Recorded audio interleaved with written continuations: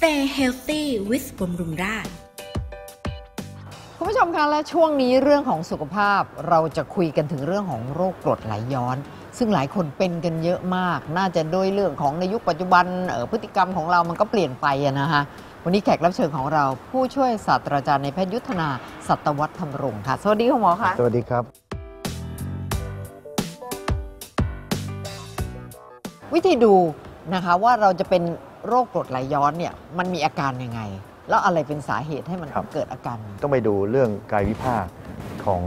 ระบบทางเดินอาหารของเราค่ะ นะครับเพื่อละเมื่อเรารับประทานอาหารเข้าไปเนี่ยมันก็จะผ่านหลอดหรือท่อที่เราเรียกว่าหลอดอาหาร ค่ะ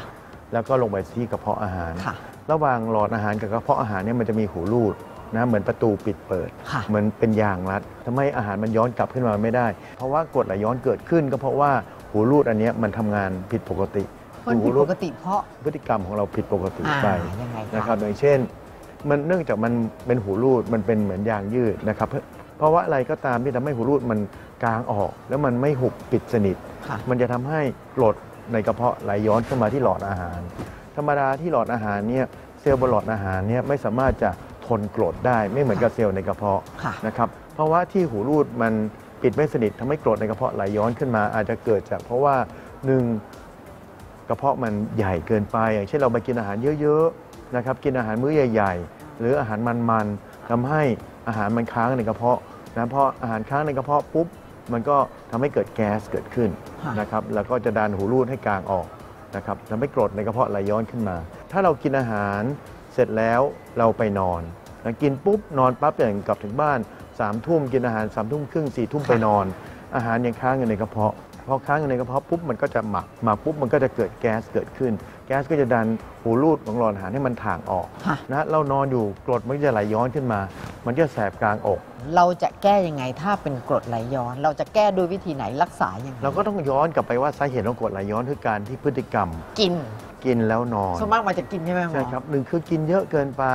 กินอาหารมันมากเกินไปอ่าเคี้ยวไม่ละเอียดอ๋อนะครับค่ะหรือภาวะ อะไรก็ตามที่ทำให้หูรูดมันหย่อนค่ะอย่างเช่นสูบบุหรี่ค่ะนะครับก็ต้องงดบุหรี่ หรือแอลกอฮอล์ทำให้หูรูดมันหย่อนปิดไม่สนิทค่ะนะครับแล้วก็อย่ากินแล้วนอนทันทีค่ะเคี้ยวช้าๆเคี้ยวละเอียด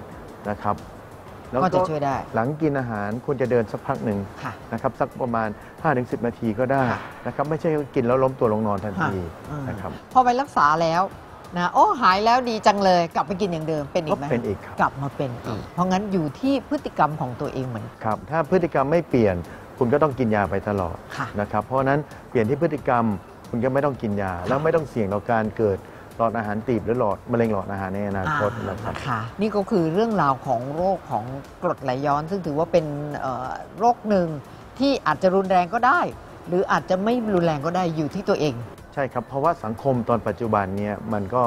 เป็นภาวะที่ทำให้เกิดกรดไหลย้อนได้บ่อย ใช่อย่างเช่น ใช่ เครียดนะครับ ทำงานกินไม่เป็นเวลา กินอาหารไม่เป็นเวลาหรือรถติด ควรจะกินทั้ง4ี่ห้าโมงเย็น ไม่ควรจะกินเลยทุ่มหนึ่งนะครับ แล้วกินมื้อเย็นควรจะกินให้น้อย ค่ะก็จะช่วยได้ วันนี้ต้องขอบพระคุณสำหรับผู้ช่วยศาสตราจารย์ในแพทย์ยุทธนาสัตวัฒน์ธรรมรงค์เกี่ยวกับเรื่องของกรดไหลย้อนค่ะ ขอบพระคุณคุณหมอค่ะ ขอบพระคุณครับ สวัสดีครับ สนับสนุนโดยโรงพยาบาลบำรุงราษฎร์และศูนย์ส่งเสริมสุขภาพ Vital Life